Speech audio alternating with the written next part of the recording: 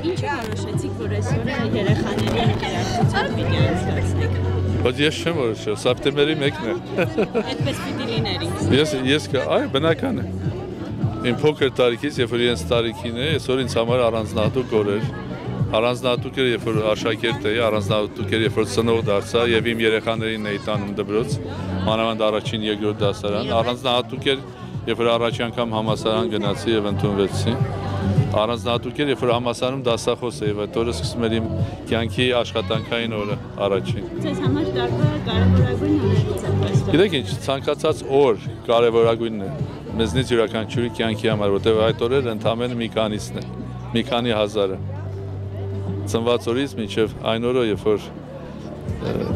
այլևս չկանք այս աշխարհում, ցանկացած օր կարևորն է։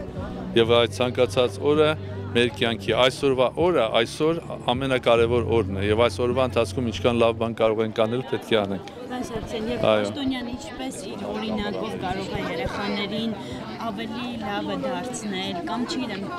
դառնալ այն օրինակը, որին որ կարող է Գիտեք, դա կապ չունի պաշտոնյա ես, թե պաշտոնյա չես, գիտնական ես, գործարար ես, սպորտսմեն ես, որտեվ կրթելու լավագույն ձևը իրականում սեփական օրինակն է։ Լավագույն ձևը։